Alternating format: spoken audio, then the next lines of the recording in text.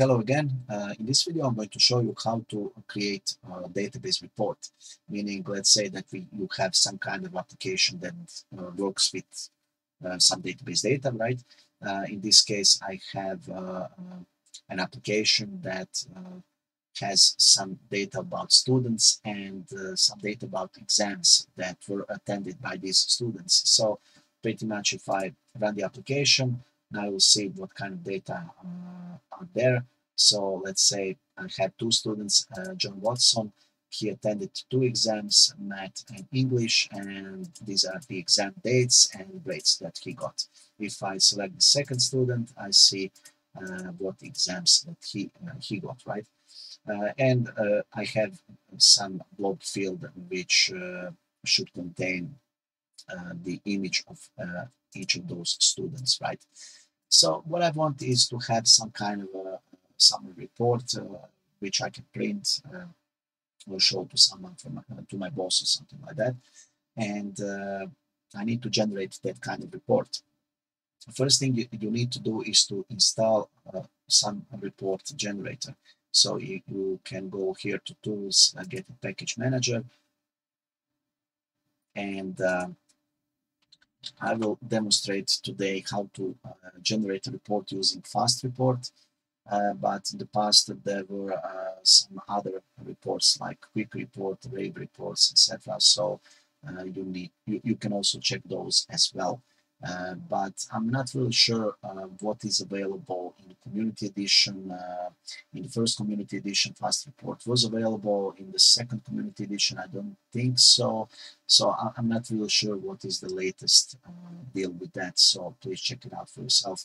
But in this case, like I said, I'm going to show you how to generate a report using the Fast Report uh, VCL components. So you need to install those, and once you do, you will have uh, here fast report VCL, uh, VCL tools, and VCL exports, right? Uh, so let's generate our report. First thing you, you need to do is to add this report component here. Okay, and this is the main component for the report. It will be used to um, uh, design the report. The second thing is that our report will contain uh, data from two database tables uh, or two data sets. In uh, our case, it will be uh, dataset student and dataset exam. So for each of those two tables, I need to add DB dataset component here from fast report set of components. So I'll add this one here and it uh, I will simply call it um, student. Okay and I will also rename it here. Uh, then I'll add uh, I'll link that uh, component to table student. Okay and I'll do the same for the second table. Exam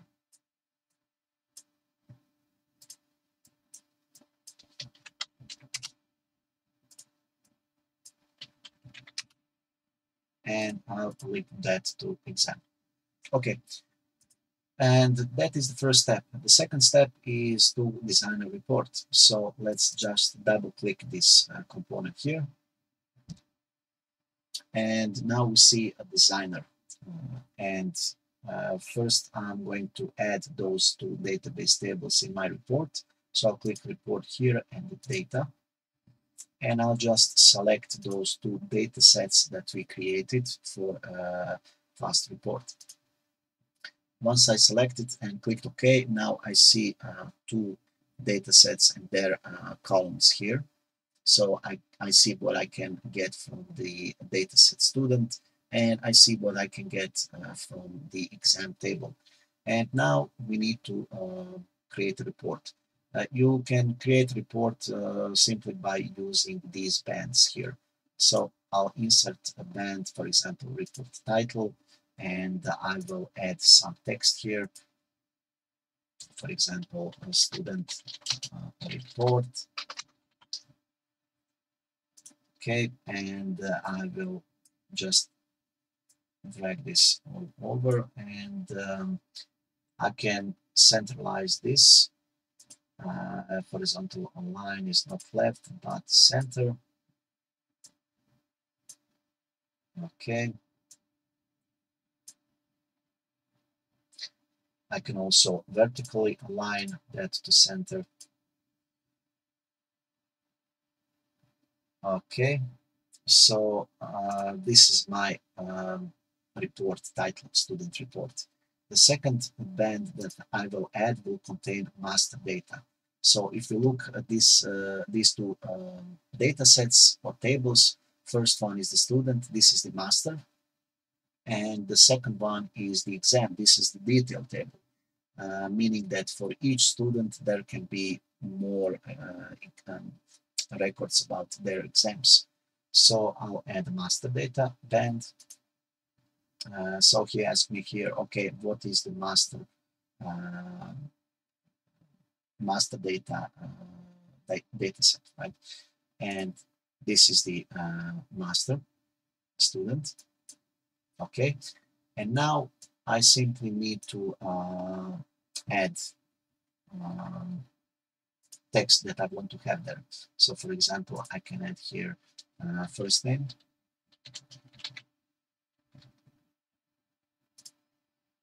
and uh, then I will drag uh, this field here and I will copy paste that for the second name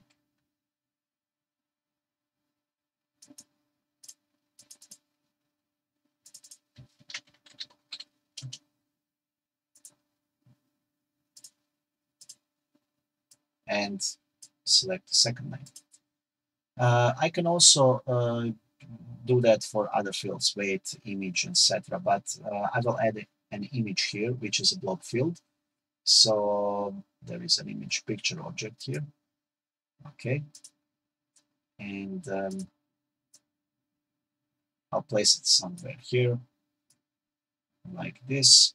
And uh, I will say data field is okay image. Okay. Uh, now we can test our report or preview it uh, by clicking this button here. And as you can see, now we automatically got data for uh, our student uh, from our master table or student table. So we have two records student table, uh, John uh, Watson and Eric Masters, and these are their images, let's say, right? Uh, but uh, what I want is for each of those students to also have all their exams showed, right? Uh, so I will also add uh, a detailed data band. Uh, detailed table is the exam table.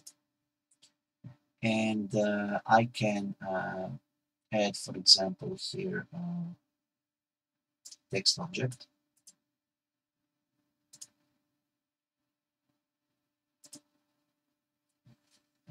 So um,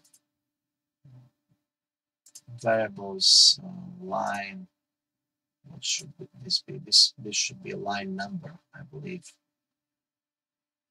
Uh, you can add, for example, date, time, uh, page, uh, total pages, line, etc. Uh, there are many other functions that you can use to uh, automatically generate text on your report.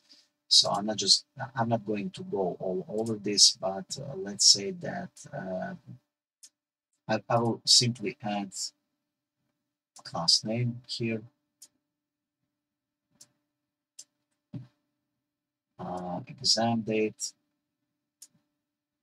and grade. Okay, and I'll just expand this a little bit. So if I preview this, now you can see that I have my first student, and then I have all the records for the first student, math and English, and then I have a second student, and then I have records for the second student. But you can see a lot of uh, white space here, which can be uh, reduced by simply uh, shrinking this here because detailed data is uh, repeated for each uh, master data record. So here and now as you can see there is no uh, there is not so much this uh, white space here but I have uh, here a lot of white space and uh, here. So let's see what happens there. I believe that's because of the image. Yeah, that's because of the image. Okay, so what I can also do here is to add some kind of line so that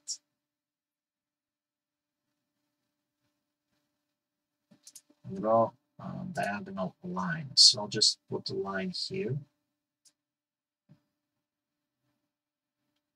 which will uh, visually uh, help me to uh, distinguish each student. And now, uh, as you can see, I have the first student. Probably that line should be added uh, above. Let's add it above.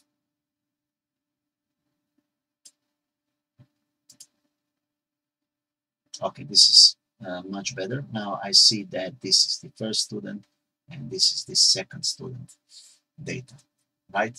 You can also uh, add, uh, for example, report summary and add some automatic text there, for example. Uh, now let's add something automatic. Data, date. Okay, let's see. Okay, this is the today's date. Um, and I can also expand this a little bit and add a line.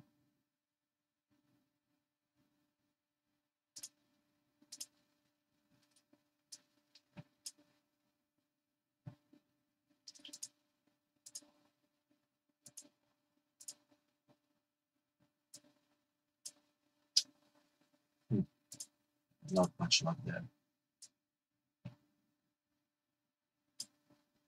Okay.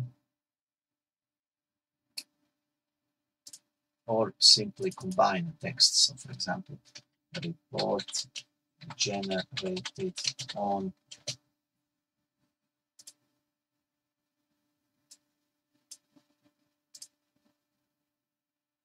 so to have it something like this. Okay, and I believe uh, this is pretty much enough for uh, for start. Now you can see how you can generate report and as you can see, we haven't wrote a single line of code yet. Uh, what we can do now in the continuation is to show the report, and that's only one line of code. So I will say show report. Uh, what is the uh, name of the component? Show report. Okay, now let's run the application. uh, report one.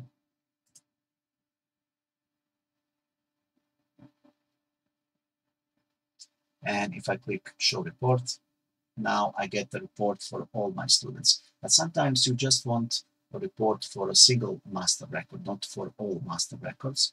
So you can uh, do that by um, going in a student or master data set and say uh, as you can see here, range begins with first and range ends with last, which means that uh, our report will uh, show uh, or generate report for every uh, master record. But I can say uh, I want only a report for the current record. So if I run this, now the first master record is selected, John Watson, uh, if I click show report, as you can see now, I only got the report for John Watson, right? If I uh, select the second um, student, now I only got the report for the second student, right? And uh, that's pretty much how it is. I don't believe it's hard. Uh, as you can see, you pretty much uh, just uh, play with the components, design a little bit, and showing the report is just one line of code. So uh, I believe everyone uh, should be able to do it pretty easily. Well, like always, thank you for watching. And if you have any questions, please feel, uh, free to contact me. Thank you.